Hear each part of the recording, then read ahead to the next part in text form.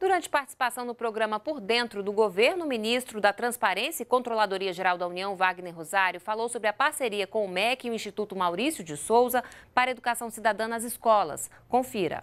A gente iniciou esse projeto em parceria com o Instituto Maurício de Souza em 2008 e passamos a partir de, desse projeto, nós atingimos durante esses 10 anos 700 mil crianças, onde nós trouxemos para essas crianças conceitos de ética, de interesse público, de cidadania. Isso é, restou demonstrado nas escolas uma melhoria.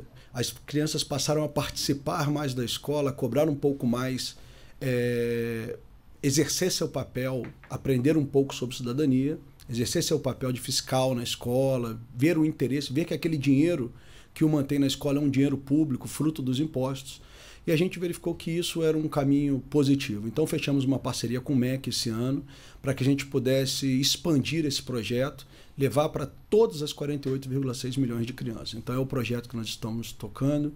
Ele traz uma parte bem lúdica que facilita o aprendizado com a turma da Mônica e nós esperamos é, mudar a cultura do país e criar um país mais ético, mais cidadão, que isso contribui para o crescimento do nosso país e esse é o grande objetivo do nosso projeto.